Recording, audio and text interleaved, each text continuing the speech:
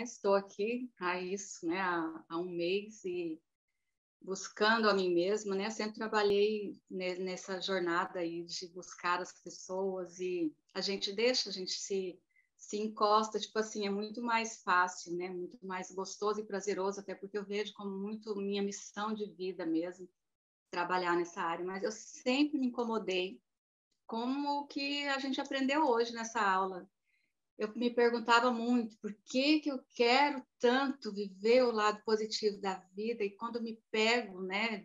Chego depois de, de um encontro com amigos, depois de, de passar horas, horas e horas com as pessoas, eu falo de coisas negativas. Sempre me perguntei muito isso, muito, muito.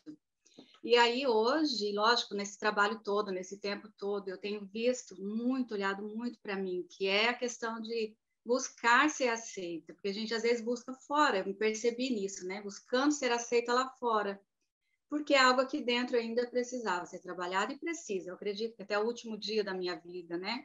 Eu estou me trabalhando e crescendo. Então, eu sou muito grata mesmo ao curso, por...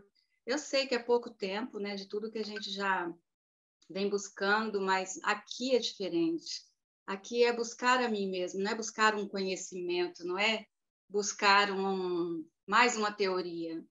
É muito diferente, é muito bom de tudo que eu já busquei. E assim eu me sinto muito mais forte, eu tenho é, acreditado tanto em mim que é só Deus que sabe mesmo, sabe? Quantas realizações, coisas que eu esperei há anos, anos. Tem um mês que já aconteceu, né? Já existe. E é muita gratidão mesmo, muita gratidão a um dia, né? O padre ter acreditado e colocado isso para a gente. Então, muito obrigada. Eu sei que eu estou começando, que eu ainda estou dando os primeiros passos, mas eu acredito em mim muito mais do que eu acreditava um mês atrás. Eu buscava nas pessoas que eu amo.